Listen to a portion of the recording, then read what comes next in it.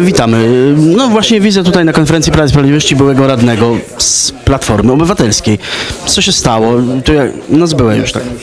ponad dwa lata, także bardzo się z tego powodu cieszę, że Z czego wynika to Pana obecność? Bo tutaj zadałem takie pytanie i skierowano mnie bezpośrednio do Pana. akurat zostałem tu przez kolegę zaproszony i byłem bardzo ciekawy tego programu, a bynajmniej, że bardzo w dobrym kierunku pracuje Prawo i Sprawiedliwość, co od dawnego czasu popieram ich inicjatywy i bynajmniej chcemy znać prawdę o szpitalu. Szpital jest w katastroficznej sytuacji, stoi na krawędzi, tak samo jak sytuacja finansów miasta, prawda?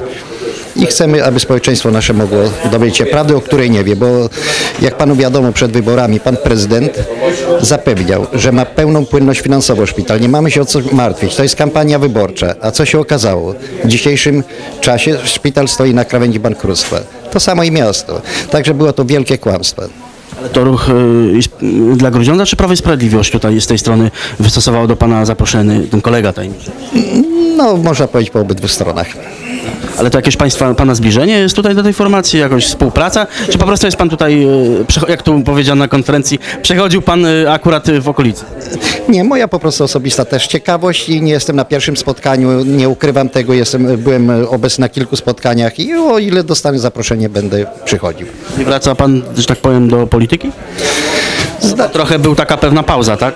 Tak, no była to taka przerwa, cały czas się interesuję problemami miasta i nie ulega wątpliwości, że będę się tym interesował dalej, nie? A bynajmniej, że mamy taką sytuację polityczną bardzo rozwojową, dzieje się wiele ciekawych rzeczy, no myślę, że warto jednak dalej kontynuować. Tu najbliższe wybory, no to troszeczkę czasu, ale, ale słyszałem już tu takie głosy, nie wiem, czy to też Pan jest wśród tych osób, odnośnie zbliżającego się, albo próby zbliżającej się e, potencjalnego referendum o odwołanie prezydenta. Już takie tutaj e, słuchy chodzą po niektórych e, formacjach.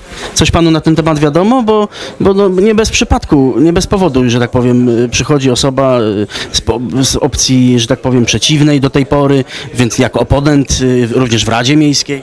Znaczy może nie z przeciwnej ze względu na to, że od dwóch lat ja wyraziłem swoją wolę, swoje postanowienie, swoją po prostu niechęć do Platformy, to co się złego działo, powiedziałem to publicznie w oświadczeniu na Radzie Miejskiej, a to, że przychodzę po prostu darzę wielkim zaufaniem Prawo i Sprawiedliwość. To jest tylko... Czy jest Pan z tego środowiska referendalnego?